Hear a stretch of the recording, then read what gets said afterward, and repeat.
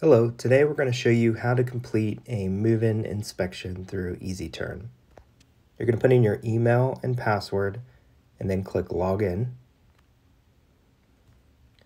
Once logged in, you will see your current space or lease with your information on it and a red X at the bottom which is going to tell you how many days and hours are remaining for you to complete your move-in inspection.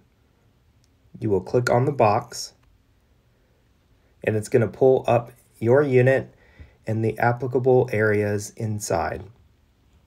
To complete your move-in inspection for each area, you're going to click on the drop-down arrow below Add Issues. You're going to click on the uh, area that you found an issue. So let's say bedroom furniture. You're going to type in your issue, hit submit, and now you want to add a picture to every issue that you put in there. So under test issue is that picture icon. We'll click it. We'll take a photo.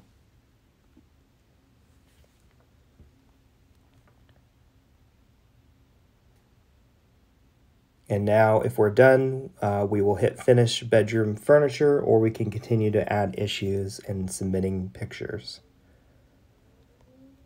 Once I'm done in the bed A space with all the issues notated, I will see indicators pop up on the plus signs. So once I know I am done, I will go ahead and say I am good on bed A and hit complete.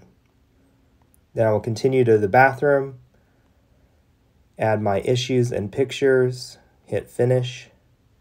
The same for the common, add pictures, issues, and hit finish and then also complete for each area.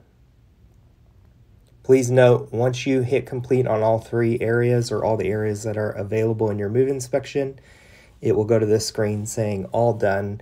Then you can click on see past areas if you ever want to go back through and look at what issues that you put in there.